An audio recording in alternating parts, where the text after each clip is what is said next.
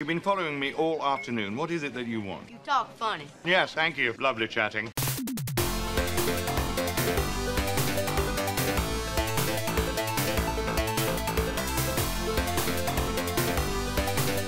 He's alive. Alive! I. I have created life. Frankenstein Through the Eyes of the Monster was a point-and-click adventure game released for the PC in 1995 and also an exclusive European release for the Sega Saturn in 1997. I repeat, this was released for the Sega Saturn in 1997. For context, that's the same year the Saturn would receive games like Fighters Megamix, Quake, Marvel Super Heroes, and Shining the Holy Ark. Just keep that in mind. Look, I'm not gonna mince words here. This game is pretty terrible, and its only saving grace is the fact that it stars the one, the only Tim Curry. And I for one hold a firm belief that we all need more Curry in our lives. but sadly, not even this legendary actor can save the game from being most likely the worst Saturn game that I own. But we'll get to that. Oh, and yes, I will use Tim Curry as an excuse to cram as many Tim Curry clips as I can. So here we go! The game comes in a PAL plastic case release. This was the second design of European Saturn boxes, meaning they are much sturdier and less prone to receive damage, ensuring this abomination of a game is well preserved for future generations to suffer through. The cover is well, it's Tim Curry. Do you like Tim Curry? Then it's a good cover. Do you not like Tim Curry or do you not know who Tim Curry is? Get the fuck out of my channel! On the back of the box, yeah, it's pretty plain. Inside we find the disc and manual and surprisingly the manual is much better than I expected. I mean it's just text, but it's way deeper than you might think. It opens up with a few paragraphs exploring the themes of Frankenstein, namely how obsession can lead to self-destruction, followed by details on how to play the game, and it even has a basic walkthrough for the first 20 minutes or so of the game, something which is sorely needed considering how obtuse this game is. After that it delves into the Frankenstein mythology, and it even gives you an abbreviated life story of Mary Shelley, including her works, her love life, her inspirations for the book, the literature of the time, and it even lists a recommendation of several stage plays and movies that star Frankenstein or the monster. I particularly like how it describes 1965's Jesse James Meets Frankenstein's Daughter, worthy of mention because it may be the worst horror film ever made. I'm afraid you're mistaken, sir. Finally, it ends stating that the 1994 movie, Mary Shelley's Frankenstein, is the best Frankenstein movie ever made. I'm afraid you're mistaken, sir. Overall, this is a surprisingly good packaging. I mean, it features Tim Curry on the cover and has a list of recommendations of all movies. So, yeah, this is not bad actually. The game might be terrible, but the packaging, yeah, it gets a pass from me.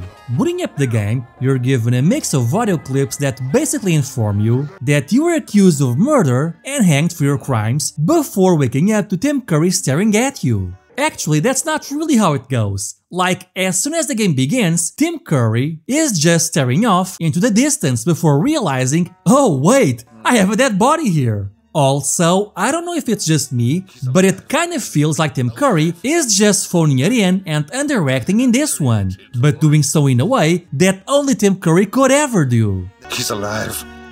Alive! I. I have created life.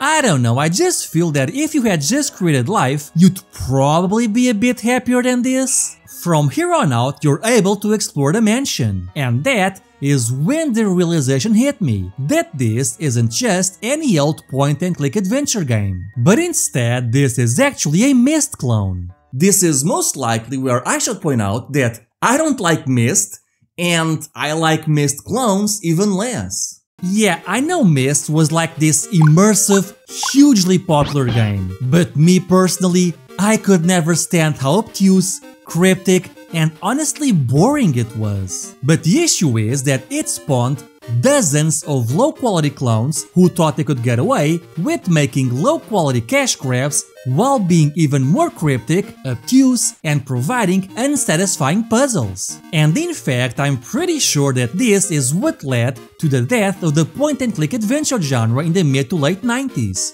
But that's just my opinion, and I have nothing to back up my statement.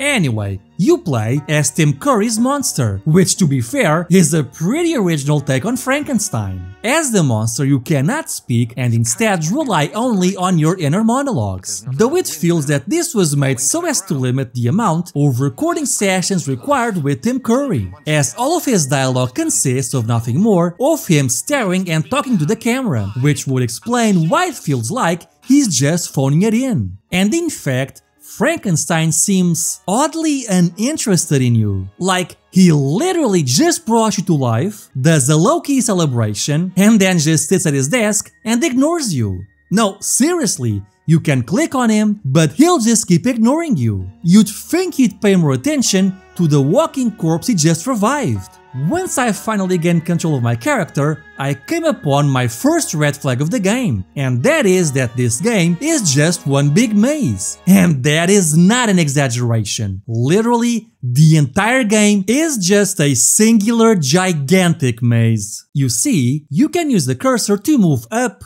left, right or down. But you can also use the shoulder buttons to face left or right. So this means that for every spot on the map, you can access it and view it from 4 different angles, most of which are useless. Because of this, it's incredibly easy to get lost. Sometimes you're standing on the same spot you were before, but because you're facing a different direction, you have no idea that you're actually there. This also makes it very easy to miss items or important spots simply because you might be viewing them from the wrong angle or you're at an angle where you cannot access them from that screen. So now imagine that for the entire mansion. It does not matter if you're on a doctor's lab, the tower, on a corridor, a hallway, the dining hall, gardens, whatever. You're forced to explore every screen from every possible angle to ensure that you did not miss anything. Now add to that, that a lot of the areas in the game are actually legitimate mazes and navigating through the game becomes a nightmare. Like this area where every wall and corridor look the same. So just kinda gotta get some pen and paper and draw your own maps if you want to progress through the game. I mean, heck, I actually went into this area that I discovered by pure chance and then spent the next 20 minutes trying to find an exit. But no! I was so lost that I had no idea where I came from or where I was going. And yes, that's the other issue. It's so easy to lose your sense of direction. You can enter a new screen without having any idea of where you came from, from the left, the bottom, or maybe any other direction. So because of that, I had to restart the game and I avoided that area. But I can't help but feel like all of this could have been easily avoided with a minimap. And honestly, this is what kills the game for me. Yes, there are other issues, but this one is what kills it. Because every action, every move, every direction feels like a chore to me. It feels like you're being punished. Because the thing is, it's very easy to become frustrated and lose your patience while exploring the castle. So much of it just looks the same, and in fact, screens often get reused from different locations, which only add to the confusion. And to make matters worse, there's really nothing to see in the castle. It's always just a series of empty rooms with no one to talk to. Yes, there are no servants or side characters to interact with. It's just you all by your lonesome self. I don't know. I guess I just expected Frankenstein to at least have a butler or something. I'm not the butler, but I'm a butler. In fact, I was his butler. I mean, yes, if you're lucky, Tim Curry might jump in at a predetermined point. But those are few and far between. And like I mentioned before, all he does is basically just talk to the camera and then promptly walk out. Actually, it is pretty funny to see all the creative ways they find to get Tim to enter and then leave a scene. Modesty be damned. I am a genius. Like, what is that? Why did he just get up, boast about himself to you, the monster, and then sit right back down? Or how about this one? What is he even doing? Like, is he playing hide and seek? Too bad you missed it. Eat what's left.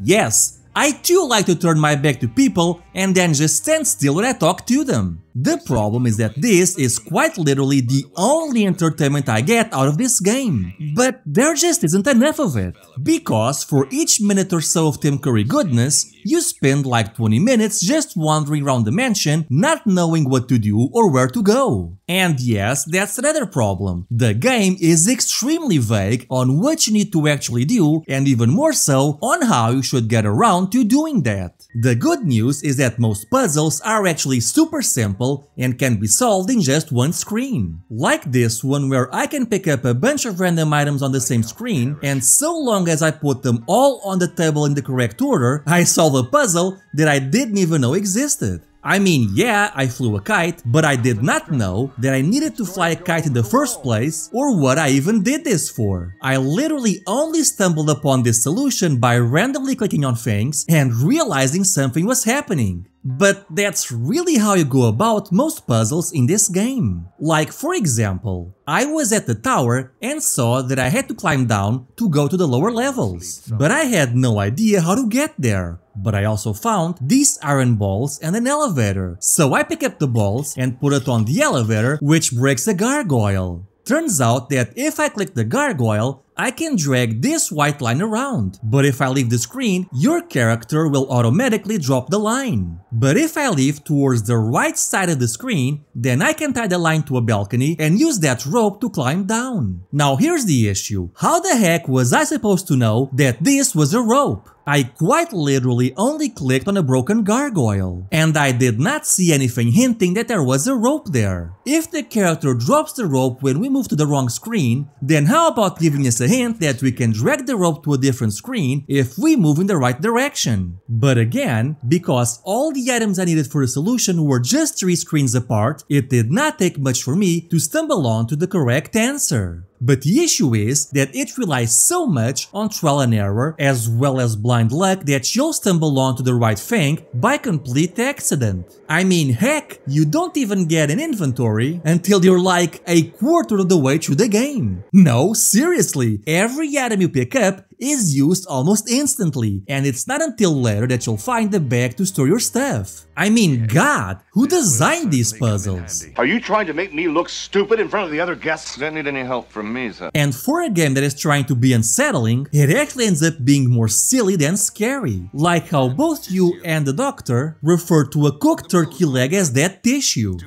Dead tissue. So, what do you do with this dead tissue? Well, you try to revive it of course. Man, that is some Looney Tunes logic right there. And when that fails, your character simply decides to eat this old ass cold turkey leg that you experimented on. Like, jeez, at least put some mustard on that thing. When I want mustard, I want mustard. Oh, and there's actually a portion of the game where you're not supposed to do anything. You just need to wait for time to pass, so you're just mindlessly walking around the mansion for a solid 10 minutes with nothing to do. Now, doesn't that sound like fun to you?